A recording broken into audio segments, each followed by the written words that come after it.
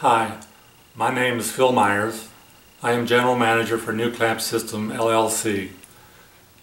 We have developed a number of devices that are used to attach strut channels, piping, conduit, and other equipment to the inside structure of commercial buildings. Our products are not incremental changes to old products. What we have are Eureka Idea products. NuClamp products allow contractors to make strong and stable connections in ways never before possible. I want to show you a device that allows a strut channel to be easily attached lengthwise to the center of an I-beam. I know of no other product that allows this to be done without welding or drilling holes in the I-beam. Our special crossbar when used with our QuakeClamp makes this possible while using only one bolt.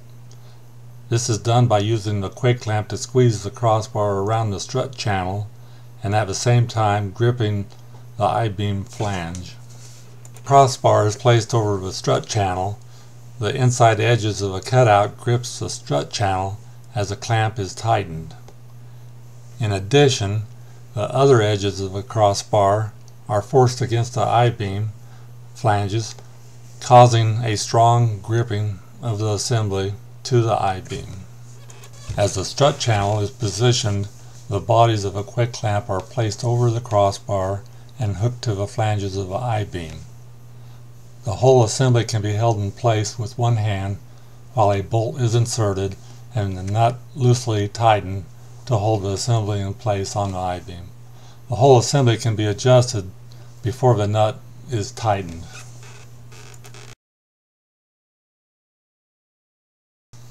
After the strut channel is in position where you want it, a wrench is used to tighten the QuakeClamp.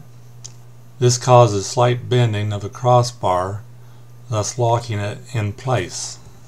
As you can see, this method makes it easy to install a strut channel lengthwise on the center of an I-beam. No welding required, no drilling required, just our QuakeClamp with the crossbar using only one bolt. Additional clamps and crossbars can be used for longer strut channels.